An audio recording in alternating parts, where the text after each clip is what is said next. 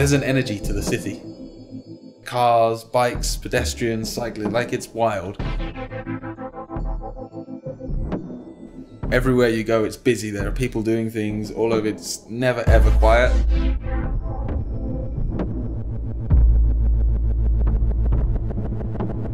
And when you get on the bike and ride through the traffic of Sao Paulo, you have to you have to be 100% everywhere.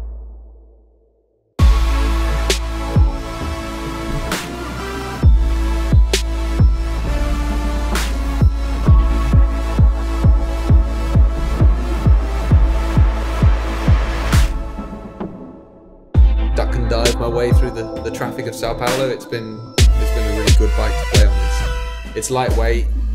The the chassis feels more like a big bike in that you know it's stable. You can trust it in the turn. You don't sit and wait in line. So you have this kind of freedom to cut through the the mud of life.